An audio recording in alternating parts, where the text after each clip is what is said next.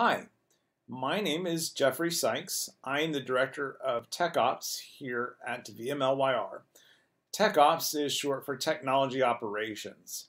And if that isn't super clear what that is, a lot of places would call the team that um, we have their DevOps team.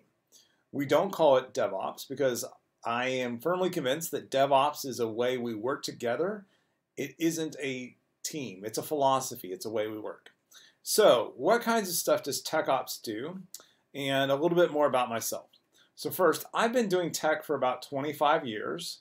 I've been at VMLYR for about 12 now.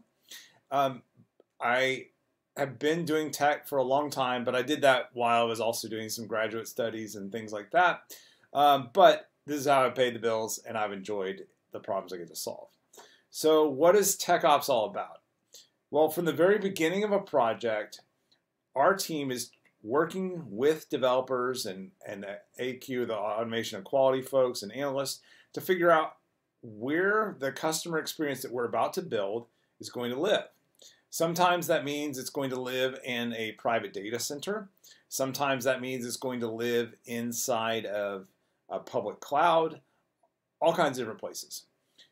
And what we're thinking about is what kinds of infrastructure is going to be necessary to deliver these experiences to the customers in a way that they're going to be happy with it and it's going to have the resiliency and uh, the security and the scalability all those kinds of things that that you need so that the experience actually works the way folks expect it to. Part of that also means how are we go beyond how we get the infrastructure, how are we going to get the code that developers and other folks work uh, write safely from source control into production um, and make sure that that is a really seamless process, that there's automation in place, and that it doesn't take a lot of time and that it's safe. To that end, what we're trying to do is figure out how do we uh, make those deployments happen as frequently as possible so that they're smaller and that those small deployments have less risk than big deployments do. That allows us to shorten lead time. When we do that kind of work, we often find that that also means that we can recover um, faster if something goes wrong. And um, we have smaller failure rates when we actually make changes. So um, that's kind of what TechOps does. Um, what do I like about that? Well, at VMLYR, we work with lots of different clients, from really small to really large.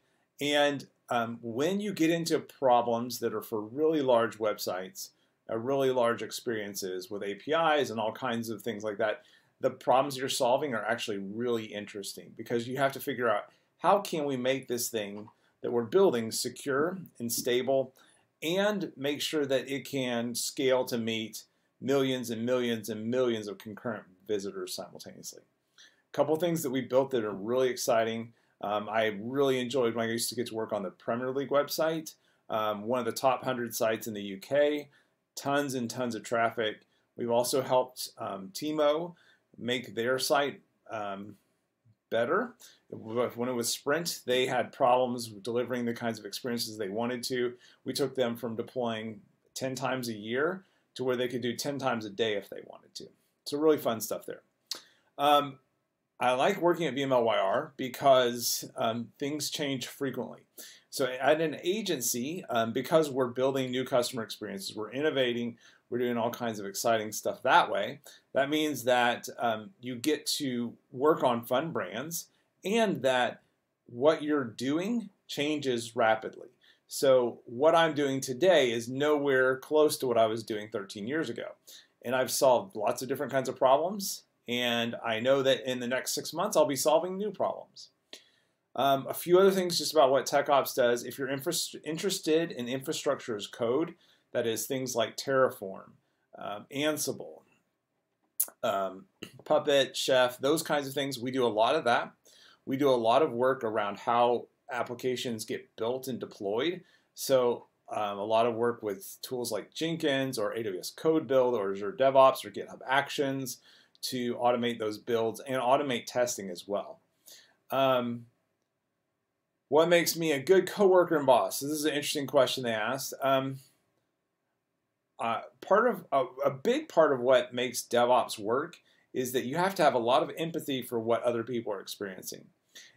That empathy and that collaboration that's part of DevOps carries all the way through in our entire team. It's essential to actually getting stuff done.